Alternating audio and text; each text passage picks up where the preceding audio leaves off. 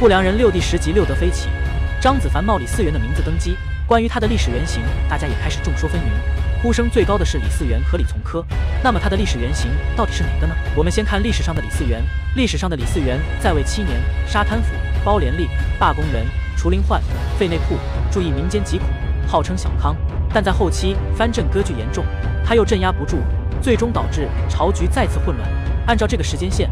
我们假设张子凡登基后的原型是历史上的李嗣源，前期这些作为很好理解，关心百姓疾苦，想要天下大同的老张老李合作创造了小康社会。干了几年后，张子凡想要金蝉脱壳，新继任的人却能力不足，再次导致变乱。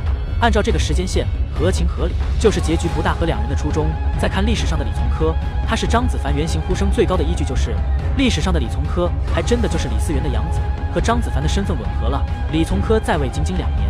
最后因为无力抵挡石敬瑭与契丹军队的进攻，自焚于洛阳。对他的评价是打仗很勇猛，但是治国很无能。登基后，为了兑现曾经许诺给部下的赏钱，让官吏们去百般搜刮民财。这个登基后的作为，明显不是我们老张的作为。综合对比来看，老张的原型可能是综合了两个人的可取之处。想想他也不可能在位七年，李从珂的两年还是比较合适的。而登基后的作为，则是参考李嗣源。身为动画人物，自然没办法百分百按照原型来设定。